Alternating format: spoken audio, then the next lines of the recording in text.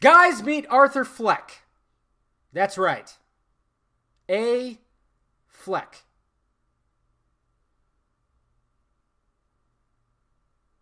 The fuck?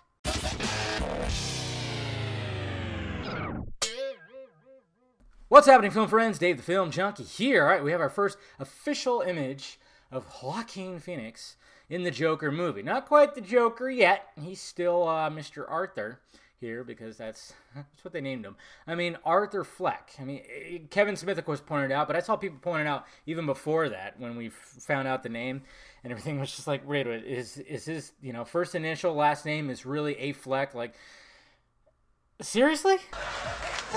He looks like an asshole, and I'm glad that he looks like an asshole. I want him to look like an asshole. And if that wasn't enough, we were given, oh, set images, as well as a full on set video of him doing a scene. So you see some mannerisms. You can't hear the voice, which I'm anxious to see because there is a part in this set video where he does laugh. You see this face right there, and he, you know, he just looks like he's taunting this guy, this clown dude.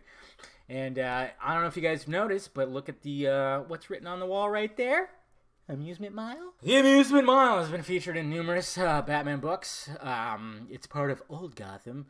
And uh, yeah, it was part of uh, Gotham's industrial boom, but of course it, it saw better days. And then you know the big the big book that we saw it in, and of course, who knows how much they're going to be pulling from it, but it, it was featured in the Killing Joke when you know the Joker purchased you know to have the amusement park, and he brought Commissioner Gordon there for a fun ride.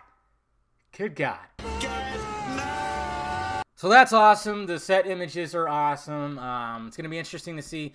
I mean, who knows what what's going to happen with this movie? You know, it's funny because everybody is pretty hyped for this. i have seen nothing but you know people just praising how Phoenix looks, how this is already you know shaping up to be. Everybody's praising it, which is kind of weird though because Martin Scorsese apparently isn't um, attached to it anymore. But I guess one of his fellow producers is because I guess Scorsese has too much going on. So that was kind of like, oh, I didn't know that. I found that out today from a fellow uh, movie person, and I was yeah found it interesting. Unless something happened where all of a sudden he is, who knows? I mean, you, I mean, obviously if you do a Google search, it'll show that it is, but.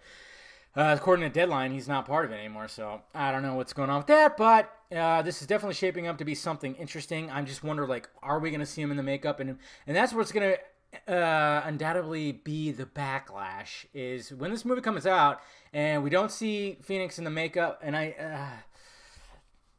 Warner Brothers, you better stay the fuck out. Stay away! Just let it happen, okay? This is not part of the DCEU. It's not that universe. This is something entirely different. Hopefully they don't fuck with it or, you know, you know, start knocking on Todd Phillips' editing door and you're like, hey, we gotta get him in the makeup a lot quicker. And that, that's the thing because they do, you know, test screenings with test audiences who just I don't know who they're inviting to these test screenings because that'll be like the first complaint that they have. He wasn't in the makeup till the final act.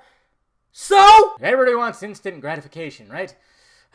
so it's so annoying, so very annoying. You know, it can't just evolve the character, and that's what I'm hope hopefully that's what's going to be the case. But uh, the main thing is is like okay, when I I remember posting, you know, what he was looking like and everything was at the Toronto Film Festival. And I was hoping, like, oh, here's hoping for a makeup image. I'm like, no, we got this image right here. It's just him normal. And that just kind of shows me, like, yeah, we're not going to see him in the makeup until we watch the goddamn movie. And all I want to hear now is the voice and the laugh. That's what's going to be great. And I'm sure uh, Phoenix is going to do. He's, he's going to do a great job and knock it out of the park. And there's going to be a lot of Leto sucks hot takes. They're already out there. You know, there's been so many iterations of the Joker. We can have two at the same time. I like Leto's Joker. He's more that gangster Joker. You know, he's more yeah. I just like what they were gonna do, even though you know, of course, the studio fucked with it, and hopefully with Suicide Squad too.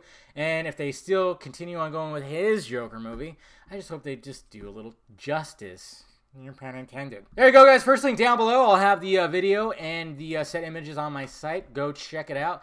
Hit that like, thumbs up button if you'd be so kind. Subscribe to my channel. Visit filmjunkee.com for all my stuff. And, of course, uh, visit the closet for shirts and stickers. And follow me on the sock meds, the Twitter, the Facebook, all that stuff. All right, guys?